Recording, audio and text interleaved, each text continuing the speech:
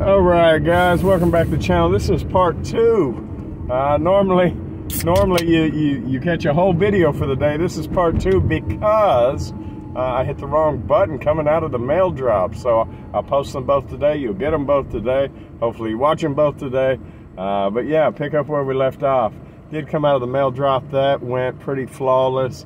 I am running a little late to work, but I think I'm gonna make it by the time Grace rolls through, if this truck will hurry up.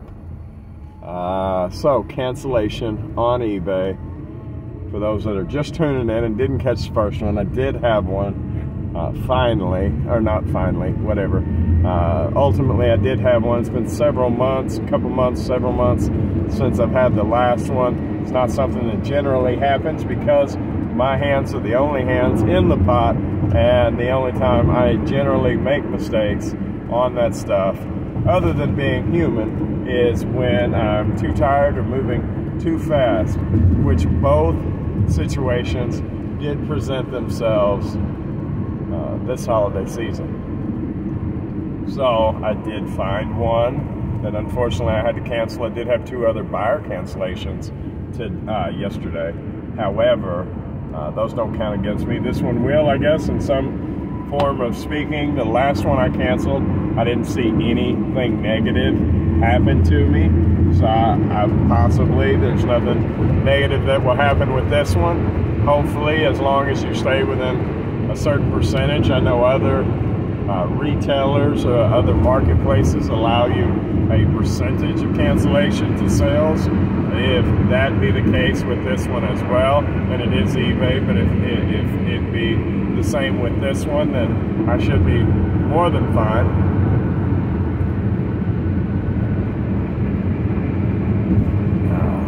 Like I said, two orders uh, in the last video that I woke up to today. One of them's just a dollar profit still nice to see go out. And uh, the other one I sold at, I bought at $8, sold at 55 So a decent, oh no, and a third one. Yes, yes indeed.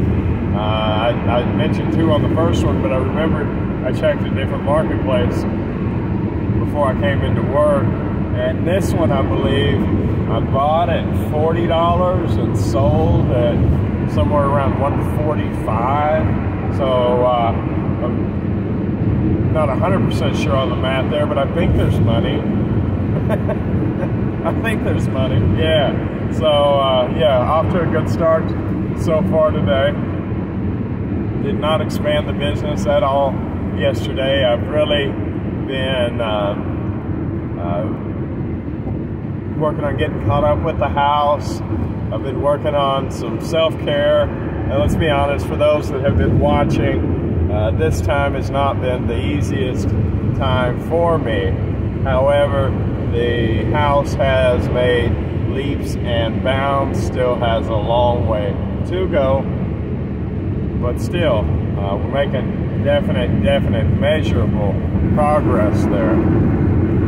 So I am pleased to see that coming about.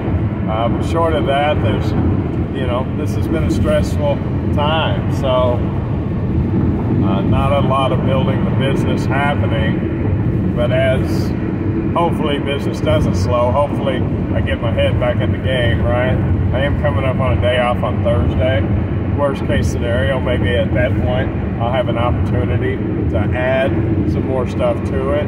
Uh, but as far as the cancellation goes, it just reinforces the need for uh, inventories at some point. Now, the system that I am adopting and adapting is a rollout inventory, uh, which seems to have, uh, it seems like it should work at the moment there is enough space to make happen. Basically what I've done is the totes from the first year, I have stopped putting anything in. Uh, I'm only doing new totes at the moment until they drop to the point where it doesn't take any time to inventory. And once that tote is inventoried, then I put a date on it, and I'm free to use that tote again uh, for another year. And after that, it gets a red light basically, and I don't put it, you know, a year later, I don't put anything in that tote. So I can stack it for a year, and then I got to peel it away and see what's left over. Uh, but that way it doesn't compound the problem uh, of, you know, extended distances uh, of time going through without me verifying the inventory. Plus, uh, by not using, by taking them out of service, so to speak, it limits the, mm, why, I want to say liability, but that's not that's not the right word. It, it limits the amount of of error that could have happened during that time frame by letting them uh, filter down to almost nothing before I inventory them. It, it takes a lot less time to do it. So so far that seems to be working. I have very very low actual cancellation rate.